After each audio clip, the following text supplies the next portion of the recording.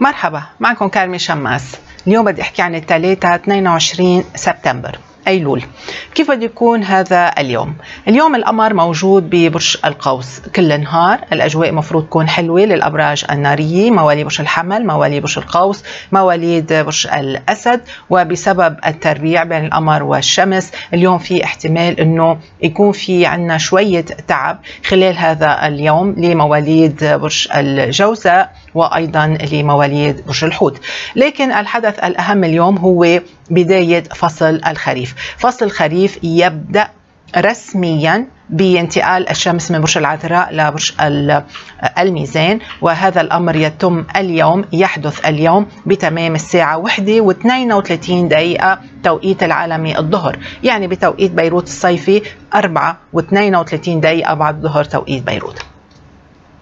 هذا معناتها إنه بعد الظهر انتقال الشمس لبرج الميزان رح بيحسن الأجواء لمواليد كثير من المواليد وبندخل كل الأبراج بتدخل اليوم في الجزء الثاني من الفيديو يلي حكيت عنه للأبراج الشهرية. وبالتالي كل برج بيقدر يرجع يحضر شهر سبتمبر برجه لشهر سبتمبر لأنه دخلنا بالجزء الثاني اللي هو مختلف كليا عن الفترة اللي آه، اللي سبقت من 1 سبتمبر ل 22 سبتمبر مختلفة كليا عن 22 ل 30 سبتمبر. المهم البدايه مع برج الحمل مواليد برج الحمل هنالك نوع من دعسة للأمام. هنالك بالرغم من بعض المطبات يلي بتمرقوا فيها لكنه يوم جيد ويوم مثمر ويوم مفيد لكم وأريح بكتير من الأربع خمس أيام اللي مرقوا. صحيح بنبدأ بفصل الخريف يلي هو بيعاكسكم لكن في احتمال انكم تربحوا اليوم. كونوا جدا حذرين 16 17 نيسان أبريل. من المشاكل من السرعة من التهور. ننتقل لبرج الثور. مواليد برج الثور اليوم أريح بكثير من معاكسة القمر لكم بهاليومين اللي مرقوا. الجو اليوم بيساعدكم هنالك بعض الانشراح وبعض الانفراج. كل شيء والشمس موجودة ببرج العذراء. يعني لحقوا حالكم إذا بتقدروا. بعدين الجو ليس سلبيا لكن في شوية شغل. كونوا حذرين. 30 نيسان أبريل 1 أيار مايو. الأكثر حظا اليوم. 7 8 13 14 16 17 أيار مايو بنتقل لبرج الجوزاء مواليد برج الجوزاء كل شيء والشمس بعدها موجودة ببرج العذراء. في احتمال إنه تكون عم بتودع فصل الصيف بشوية مزاجية. مطلوب من مواليد برج الجوزاء إنه يطولوا بالهم لأنه لازم تستقبلوا فصل الخريف والضحكة على وشكم والبسمة على وشكم الأجواء اليوم ليست ليست سلبية مثل ما أنتم مفكرين. أوكي في مشاكل الصبح في مشاكل ومتاعب كل شيء والشمس ببرج العذراء لكن هنالك انفراجات تدريجية بتحصلوا عليها آه، خلال هذا اليوم. أهم شيء أهم شيء كلمة النجاح المفتاح لنجاح هذا اليوم أنكم تكونوا فلكسبل تسمعوا للآخرين ما تستعجلوا ما تستعجلوا بكلامكم. تبقى المواليد اللي عندها ظرف إيجابي أو سلبي 15 حزيران يونيو. المواليد الأكثر حظا بعد الظهر فيها تكون مواليد أيار مايو وفينا نقول أنه في احتمال أنه مواليد 21 آه، أيار مايو فيها تكون من الأوفر حظا.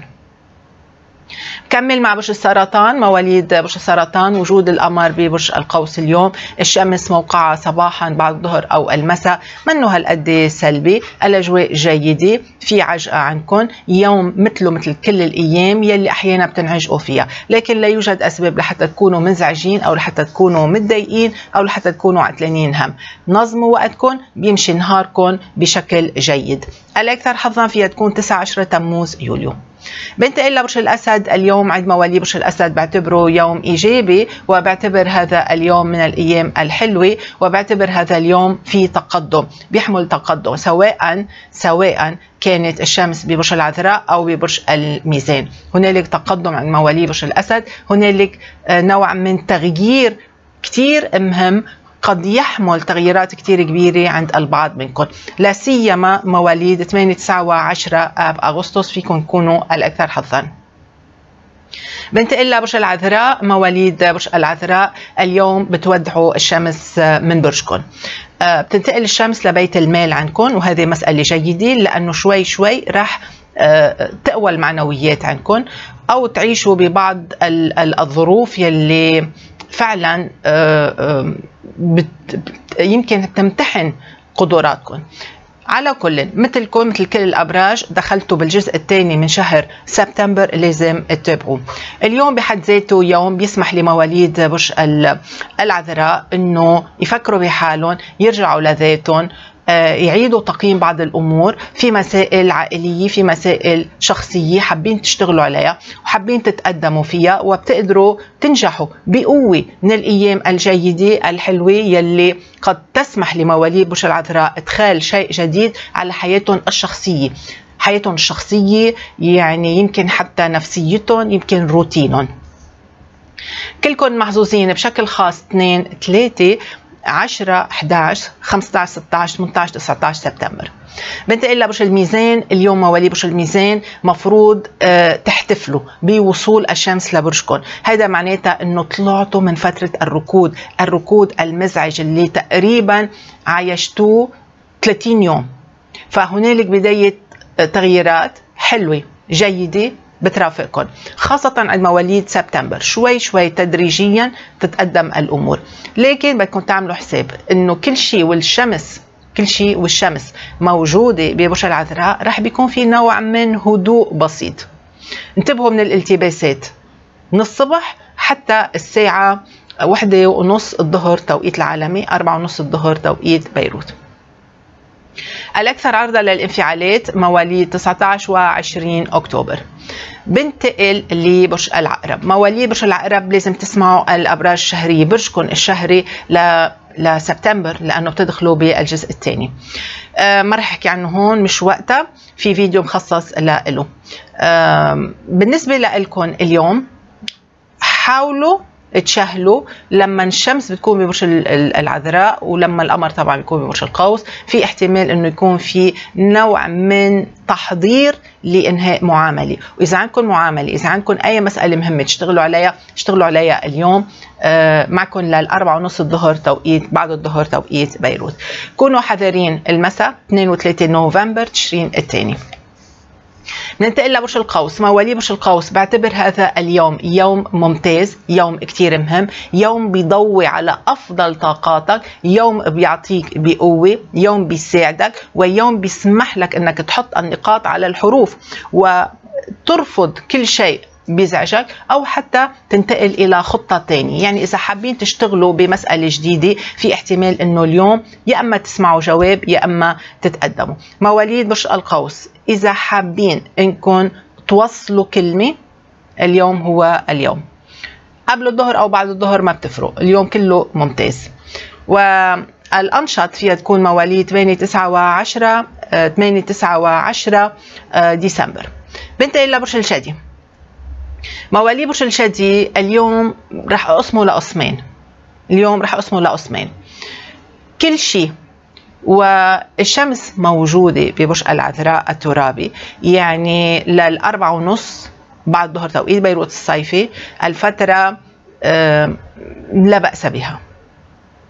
بطيئة جدا. وأصلا من المستحسن مثل ما سمعتوا بالأبراج الأسبوعية ما لازم يكون في عندكم آه، تحركات كبيرة لأنه يوم غير مثمر. وخاصة هيدي الفترة. هيدي الفترة اللي عم بذكرها منا مثمرة. لكن لما بتنتقل الشمس لبرج الميزان يعني على الأربعة ونص بعد الظهر توقيت بيروت بتدخلوا بأضعف فترة في هذا اليوم ويمكن حتى في هذا آه، الأسبوع تقريبا. فكونوا حذرين جدا هذا يوم دقيق ويوم شائك بدكم تعرفوا تختاروا الوقت. إذا بتقدروا تأجلوا بيكون كتير منيح. بدكم تسمعوا هيك الأبراج الأسبوعية. بتبقى المواليد اللي بعتبرها أكثر تعبا من غيرها. 12 13 15 16 كانون الثاني يناير. بنتقل لبرج الدلو مواليد برج الدلو. هذا يوم ممتاز يبدأ بطريقة جيدة. ما تزعلوا إذا فايقين ومزعوجين أنا بقول إنه اليوم سوف يتحسن تدريجيا. فمن الجيد بصير أحسن. من الأحسن إلى ممتاز من العاطل إلى جيد. هنالك انفراجات ضخمة بانتظاركم. خلوا عينكم على الساعة. ولاحظوا ابتداء من الأربعة ونص بعد الظهر توقيت بيروت هنالك احتفال بانتظاركم هنالك أخبار سارة. نظموا وقتكم يلي عم يتابعني من القارة الأمريكية بيعرف أنه تقريبا من الصبح الشمس بتكون صارت ببرج الميزان وبيكون بتدخلوا بفترة ممتازة. آه، يوم نهار كتير حلو خاصة لمواليد شباط فبراير لمواليد عفوا كانون الثاني يناير. والأنشط يلي ما بيهدى في يكون مواليد 11 12 و 13 شباط فبراير. كمل مع برج الحوت مواليد برج الحوت. اليوم هو آه، هو اليوم الذي بيوعدك بانتهاء المعاكسات. فترة المعاكسات المزعجة اللي قضيتها صار لها 30 يوم اليوم بتودعها مع بداية فصل الخريف يعني على الأربعة ونص بعد الظهر توقيت بيروت الصيفي. فحضروا حالكم مواليد برج الحوت ما تزعلوا. يمكن من الصبح زعلانين من الصبح مش راضيين من الصبح في أمور صعبة بانتظاركم أو بتحسوا هيك. أنا بقول لكم إنه في انفراج كتير حلو ابتداء من الأربعة ونص بعد الظهر توقيت بيروت.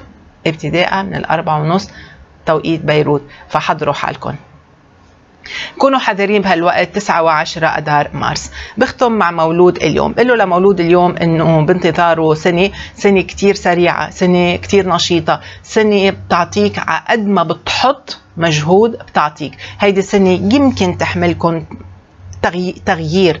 إن كان بالشغل إن كان بمكان الإقامة إن كان بمكان الدراسة. هيدي السنة بتعطيكم أصحاب جداد بتعطيكم معارف جديدة تكتشفوا كثير من الأمور ومن الحقائق والأسرار المخبية. أكتوبر نوفمبر ديسمبر وشهر شباط وحزيران يعني آه، فبراير ويونيو من أفضل الأشهر. بدي أتمنى لكم يوم سعيد وإلى اللقاء. bye bye.